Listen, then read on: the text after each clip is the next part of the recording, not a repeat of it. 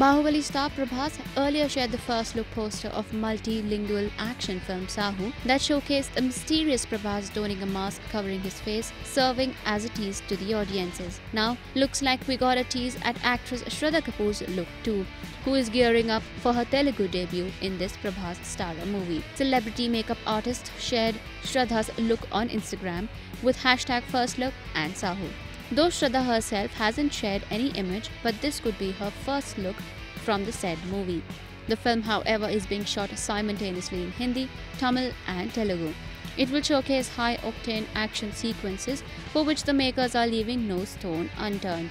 It also stars Jackie Shroff, Mandira Bedi, and Neil Nitin Mukesh, among others. It is being produced by Vamsi, Pramod, and Vikram of UV Creations.